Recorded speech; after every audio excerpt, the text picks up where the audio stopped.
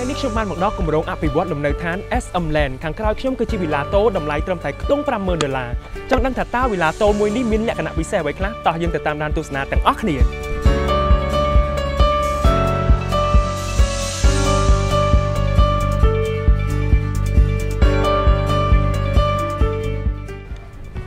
ឡូវនេះខ្ញុំបានមកដល់ខាងមុខគេហដ្ឋានផ្ទាល់ហើយក៏ទទួលបានសោពីម្ចាស់គម្រោងផងដែរ មុនចូលដល់ខាងក្នុងខ្ញុំសូមទាញអារម្មណ៍បងប្អូនដឹងពីលក្ខណៈទូទៅនៃវិឡាតូតម្លៃសមរម្យមួយនេះសិនវិឡាតូមួយនេះគឺពិតជាស័ក្តិសមសម្រាប់អ្នកដែលមានសមាជិកល្មមពីព្រោះថាយើងមានទំហំដីរហូតដល់ទៅ10ម៉ែត្រគុណនឹង20ម៉ែត្រនិងសាច់ផ្ទះមានទំហំ8ម៉ែត្រគុណនឹង12ម៉ែត្រហើយសម្រាប់អ្នកដែលចូលចិត្តរស់នៅបែបឯកជនណាប្រកាសជាពេញចិត្តនៅវិឡាមួយនេះពីព្រោះថាមានបន្ទប់គេងដល់ទៅ3បន្ទប់ទឹក4មានបន្ទប់ទទួលភ្ញៀវមួយរួមទាំងផ្ទះបាយមួយផងដែរ ហើយការរស់នៅវិឡានេះទៀតសោតធ្វើឲ្យយើងមានលក្ខណៈរស់នៅបែបឯកជនខ្លាំងមែនទែនពីព្រោះថាយើងមានរបងដែលផ្ដាច់ពីផ្ទះអ្នកចិត្តខាងរបស់យើងដែលខុសពីការរស់នៅបែបផ្ទះល្វែងមិនត្រឹមតែប៉ុណ្ណោះយើងអាចរចនាសួនច្បារទៅតាមចំណង់ចំណូលចិត្តពីព្រោះថានៅខាងមុខផ្ទះយើងសល់ដល់6ម៉ែត្រខាងក្រោយផ្ទះយើងសល់2ម៉ែត្រហើយចំហៀងនេះយើងសល់1ម៉ែត្រចុច8 អញ្ចឹងយើងអាចដាំជាសួនឬក៏ដើមឈើឲ្យបានទៅតាមចំណង់ចំណូលចិត្តហើយខាងមុខ6ម៉ែត្រនេះវិញបើសិនជាវិឡារបស់ខ្ញុំខ្ញុំនឹងធ្វើកូនកញ្ចក់ទូចមួយនិងដាំជាសួនកាឡាហើយធ្វើបែបនេះវាធ្វើឲ្យយើងមានអារម្មណ៍ថាស្រស់ស្រាយនៅពេលដែលចុងសប្តាហ៍ឬក៏មានបងប្អូនមកលេងណាកន្លែងនេះគឺជាកន្លែងសប្បាយរបស់យើងមួយវិញទៀតចំណតឡាននេះខាងមុខនេះគឺចំណតឡានដែលយើងអាចចតឡានបានរហូតដល់ទៅ2បាត់មើលតាមភាពជាក់ស្ដែងយើងអាចដាក់ម៉ូតូឬក៏យានជំនិះបន្ថែមបាន ហើយយើងក៏មានទ្វារចូលតាមខាងនេះប៉ុន្តែខ្ញុំសូមចូលតាមខាងទ្វារធំនេះវិញតោះឥឡូវយើងចូលទៅខាងក្នុងទាំងអស់គ្នាដើរចូលមកដល់ភ្លាមយើងឃើញបន្ទប់ទទួលភ្ញៀវដែលមានទំហំធំល្មមដែលយើងអាចតុបតែងឬក៏រចនាទៅតាមចំណង់ចំណូលចិត្តសម្រាប់ខ្ញុំបន្ទប់ទទួលភ្ញៀវប៉ុណ្នេះគឺស័ក្តិសមសម្រាប់ម្ចាស់ផ្ទះដែលមើលទៅមិនឆើតឆាយឬក៏លេចធ្លោពេកហើយយើងអាចនឹងថែមតុទូគ្រឿងសង្ហារឹមតិចតួចឬក៏គំនូរនៅតាមជញ្ជាំង បន្ទប់ទទួលភ្ញៀវនេះគឺមានបង្អួចកញ្ចក់ចំនួន2ដែលអាចឲ្យពន្លឺចេញចូលគ្រប់គ្រាន់បើសិនបើយើងជាម្ចាស់ផ្ទះដាំសួនអីជុំវិញផ្ទះទៀតគឺធ្វើឲ្យយើងនឹងផ្សារភ្ជាប់ទៅនឹងធម្មជាតិផងដែរអ្វីដែលសំខាន់គឺសន្សំសំចៃពន្លឺអគ្គិសនីពីព្រោះថាមានពន្លឺចេញចូលក្នុងផ្ទះគ្រប់គ្រាន់តោះយើងទៅខាងមុខបន្តិចទៀតមកដល់កន្លែងនេះយើងឃើញមាន mini bar ទូតមួយដែលដូចជាកន្លែងខណ្ឌរវាងផ្ទះបាយរបស់យើងនៅខាងក្រោយនេះ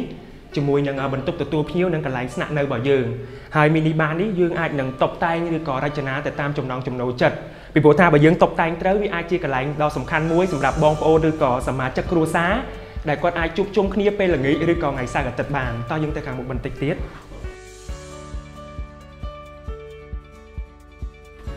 នេះគឺជាផ្ទះបាយរបស់យើងដែលមានទំហំធំទូលាយដោយសារតែនេះគឺជាផ្ទះគំរូអញ្ចឹងការតុបតែងដូចជាអត់សូវមានអីច្រើនទេ ហើយយើងអាចនឹងរៀបតុផ្ទះបាយនេះទៅតាមសមាជិកគ្រួសាររបស់យើងបានទាំងទាំងទំហំទូចឬក៏ធំទៅតាមសមាជិកគ្រួសារនេះគឺជាផ្ទះបាយដែលមើលទៅការតុបតែងដូចជាមិនសូវជាសាំញ៉ាំប្រមាណទេពីព្រោះថាខាងវិឡាផ្ទាល់គេបានថែមទូដាក់ចានលើក្រោមក៏ដូចជាម៉ាស៊ីនបឺតផ្សែងដែលធ្វើឲ្យយើងមិនបាច់ព្រួយបារម្ភរឿងផ្សែងក៏ដូចជាក្លិនម្ហូបអាហាររបស់យើងហើយក៏មានចង្ក្រានអគ្គិសនីថែមមួយទៀតផងអឺ ខាងក្រោមនេះយើងក៏មានបន្ទប់ទឹកមួយក៏ដូចជាបន្ទប់ដាក់អីវ៉ាន់មួយផងដែរហើយខាងក្រោមនេះគឺអស់ប្រប៉ុណ្្នេះហើយយើងតទៅខាងលើទាំងអស់គ្នានេះគឺជាជាន់ទី1នៃ Villa Tol SM Land ជាន់ទី1នេះទៀតសោតគឺមាន3បន្ទប់ដែលមានបន្ទប់សមាជិកចំនួន2និងបន្ទប់មេគ្រួសារ1តោះឥឡូវយើងចូលបន្ទប់សមាជិកទី1 បន្ទប់សមាជិកគ្រួសារមួយនេះគឺមានទំហំមិនធំហើយក៏មិនទូចពេកដែរសម្រាប់ខ្ញុំគឺសមល្មមពីព្រោះថាតាមភាពជាក់ស្ដែងយើងអាចដាក់ក្រេបានមួយក៏ដូចជាតុគ្រឿងសម្អាងមួយហើយនឹងទូដាក់សម្លៀកបំពាក់មួយផងដែរអ្វីដែលសំខាន់ណាគ្រាន់តែបន្ទប់មួយនេះគឺមានប្រអួចកញ្ចក់ដល់ទៅ3ដែលធ្វើឲ្យយើងនឹងមានអារម្មណ៍ថាស្រស់ស្រាយមែនតើនៅពេលដែលល្ងាចឡើងអីយើងបើកកញ្ចក់មកគឺឃើញធម្មជាតិក៏ដូចជាខ្យល់អាកាសគ្រប់គ្រាន់ នេះគឺជាបន្ទប់សមាជិកគ្រួសារទី2ដែលទាំងទំហំក៏ដូចជាការតុបតែងដូចគ្នាទៅនឹងបន្ទប់សមាជិកគ្រួសារទី1ប៉ុន្តែបើសិនជាអ្នកទាំងអស់គ្នាជាម្ចាស់នៃវិឡាមួយនេះគឺអាចតុបតែងឬក៏រចនាទៅតាមចំណង់ចំណូលចិត្តបានកុំតុបតែងតាមគេណាយើងអាចនឹងធ្វើគេជាលក្ខណៈទៀបជាងនឹងឬក៏យកតុគ្រឿងសម្អាងទៅដាក់ខាងនេះខាងនោះទៅតាមបែបបទនៃការរស់នៅរបស់បងប្អូនហើយបន្ទប់មួយនេះក៏យើងមានបង្អួចកញ្ចក់ចំនួន3ដូចគ្នាដែរពីព្រោះថាវិឡាមួយនេះគឺមើលទៅមានបង្អួចច្រើនមែនតើដែលធ្វើឲ្យការរស់នៅរបស់យើង ផ្សារភ្ជាប់ទៅនឹងធម្មជាតិក៏ដូចជាសន្សំសំចៃអគ្គិសនី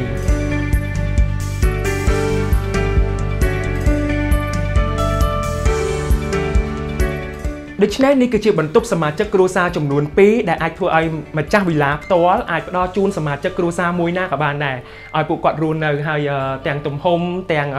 ការរៀបចំដូចគ្នាមិនបាច់សាំញ៉ាំច្រើនក្នុងការដណ្ដើមគ្នាច្រើនទេ នេះគឺជាបន្ទប់ចុងក្រោយបន្ទប់ដែលធំជាងគេដែលមានឈ្មោះថាបន្ទប់មេគ្រួសារដែលភាសាសាមញ្ញយើងហៅថាជាធម្មតាគឺ master room ណាគឺមានភាពធំទូលាយមែនតើដែលយើងអាចដាក់ក្រេកេងដ៏ធំបានមួយក៏ដូចជាតុគ្រឿងសម្អាងមួយហើយបន្ទប់នេះក៏មានម៉ាស៊ីនត្រជាក់ដែលផ្ដល់ជូនដោយខាងវិឡាផ្ទាល់ហើយការតុបតែងវិញគឺខ្ញុំស្រឡាញ់បែបសាមញ្ញប៉ុន្តែមើលទៅគឺថ្លៃថ្នូរស័ក្តិសមសម្រាប់ការរស់នៅហើយបើខ្ញុំទៀតសោតអ្នកចូលចិត្តច្នៃប្រឌិតច្រើនចឹងទៅអាចនឹងតុបតែងគំនូរនៅតាមជញ្ជាំងឬក៏ដាក់ផ្កាអីនៅតាមតុនានាផងដែរ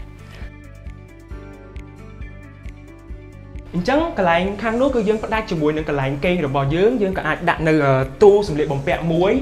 ដែលទៅតាមតម្រូវការរបស់យើងធំឬក៏ទូចទៅតាមចិត្តរបស់យើងណាហើយនៅក្នុងបន្ទប់ master room នេះយើងក៏មានបន្ទប់ទឹកមួយដែរហើយចំពោះបន្ទប់ទឹកនេះផ្ទាល់គឺខ្ញុំពេញចិត្តខ្លាំងមែនតើបើនិយាយពីក្បួនហុងស៊ុយគេហៅថាមានហុងស៊ុយណាពីព្រោះថាយើងមើលទៅកន្លែងឥដ្ឋនេះ ជាមួយនឹង niveau បន្ទប់ទឹកគឺយើងឃើញថា niveau បន្ទប់ទឹកគឺទៀបជាងកន្លែងបន្ទប់ស្នាក់នៅរបស់យើងហើយនៅពេលដែលយើងបើកទ្វារចូលមកគឺយើងអត់ឃើញចានប្រគុណហ្មងទេគឺយើងឃើញកន្លែងលាងដៃឬកន្លែងឆ្លុះកញ្ចក់របស់យើងសិនបើសិនជាបន្ទប់ទឹកហ្នឹងបើកមកឃើញចានប្រគុណហ្មងគឺគេហៅថាអត់សូវមានរាសីប្រហែលទេអ្វីដែលសំខាន់ណានៅកន្លែង master room នេះយើងក៏មានវេរ៉ង់ដាដ៏ធំនៅខាងមុខផងដែរ